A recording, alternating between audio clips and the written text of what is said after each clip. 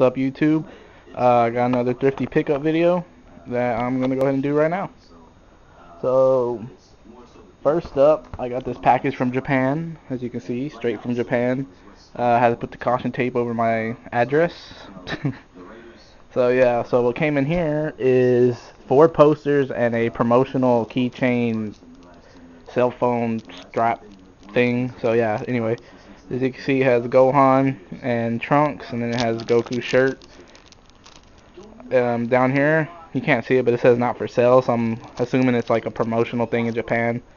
You got all the writing or whatever that says. Um, so all this stuff is for the movie that's coming out the 30th in Japan.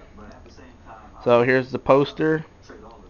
As you can see, the date 330 2013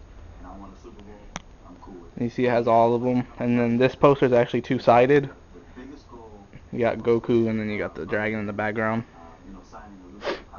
So that's that one. And then we got this one for the actual for the movie.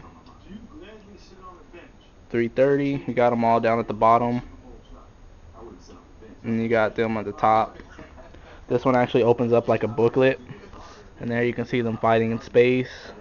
You got all the characters who are in the movie some pictures from the movie.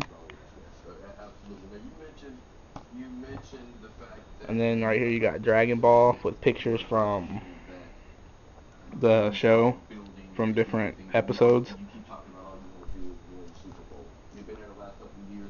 So as you can see I have two of them right here already framed. These two are actually mine. And then these two are um, given to my brother and my cousin. And I'm also keeping this. So, yeah, that's that. Now to the games. I finally got Ocarina of Time. I've been wanting this game for a long time. I told myself I was going to get the gold version of it, but I found this one for 5 bucks, so why not? And it's in crappy condition, but it works. That's all that really matters. To me, anyway. I got three kart racing games. Let's start with the best one, Mario Kart 64. Um, I actually already have this game, but the one I have, the sticker's all messed up. And I paid $1.50 for this at a garage sale, so why not? Can never have too many Mario Karts. Got Sonic All-Star Racing Transformed. This game's actually really, really fun. Um, I haven't really been into Sonic games since Sonic Adventure on the Dreamcast. That was the last one I really liked. All the ones after that I thought kind of sucked. But my cousin brought this game over one day. We played it, and as soon as he left, I went and got it from GameStop. so that's that. I got Crash, Nitro Kart. These three games I got from a garage sale for a dollar. Um, this game right here is actually pretty fun. Um, my brother used to have it back in the day, like when it first came out, and we used to play it all the time. You see it has the book and the game.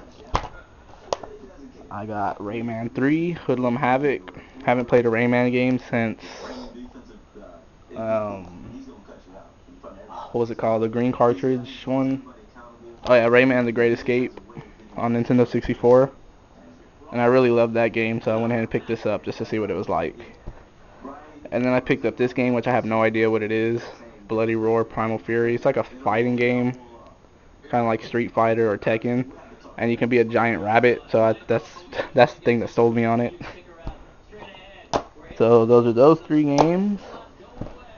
So now let's get into the shoes. As you can see, there's no box top. It's over there. uh, it actually ripped off on me, so I kind of just threw it. So as you can see, we have the Chicago 2, the QFs. You can tell it's the QFs because this part right here is red instead of black. And also because the the 23 right here is stitched like all the way around and it's not a flap. So yeah, I picked these up at the same place I picked up the the Bowser SBs in my past one of my past videos and I picked these up for 5 bucks. So I couldn't pass on them even though they are a little scratched up, but I'm probably going to use them to play basketball in anyway. and they're actually my size. So I'm not going to do a review on them. Uh, I might do a review later on in a separate video, but I'm not too sure yet.